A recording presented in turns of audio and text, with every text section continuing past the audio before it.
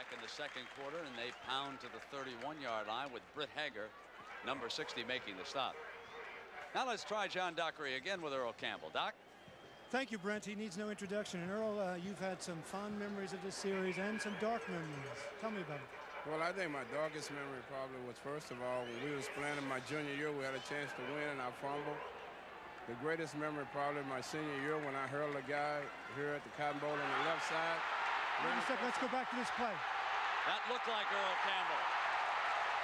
Lydell Carr gave us his impression of Earl Campbell and rambled in 32 yards for another Sooner score.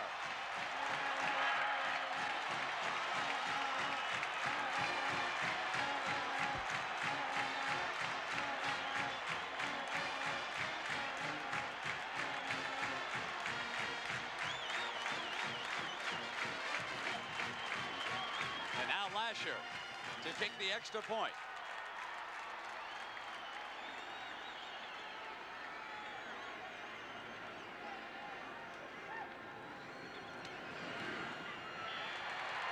He pulls it, but it was through. There's something, aren't they? When they get it rolling, boy. I'm here to tell you, these Sooners are something. Watch John.